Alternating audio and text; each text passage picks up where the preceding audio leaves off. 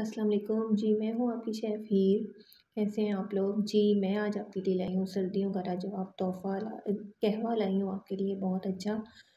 आपको पता है, आजकल सर्दियाँ हैं, सर्दियों में तो फिर नज़ला ज़ुकाम, खांसी, बच्चों का भी यही हाल, बड़ों का भी यही हाल तो इस कहवे से जो है, आपकी नज़ला, खांसी जो है, वो दूर भाग जाएँगे, जिसको भी है, क्योंकि मैंने खुद ट्राई किया है। जी फ्रेंड्स ये है पाँच कप पानी। इसको हमने इतना पकाना है कि ये चार कप रह जाए। अब जो हमने इंग्रेडिएंट्स तैयार किए हैं, मैं आपको बता देती हूँ।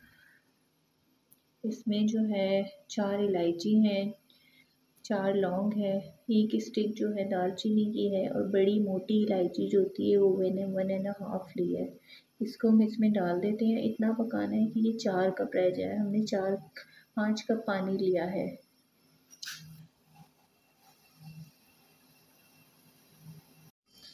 ये चार कप पानी रह गया है। मैंने आपको जैसा कि पहले बताया था, पाँच कप मैंने पानी डाला था। अब मैंने इसमें फोर टेबल स्पून चीनी ऐड की है। देखिए, बहुत प्यारा रंग इसका आ गया है। हर चीज़ का जो अर्क है, वो निकल गया है पानी में।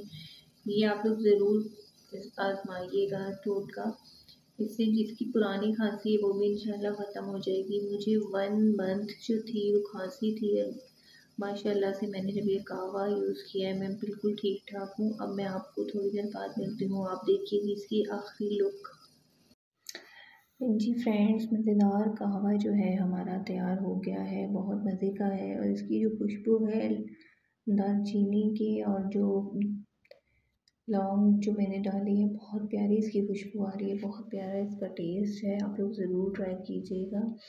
और मुझे कमेंट में बताइएगा कि आप लोगों को जिसकी पानी खांसी है ठीक हुई है या नहीं ठीक हुई। इस चुन्नी मुन्नी वीडियो के साथ अल्लाह हाफिज़।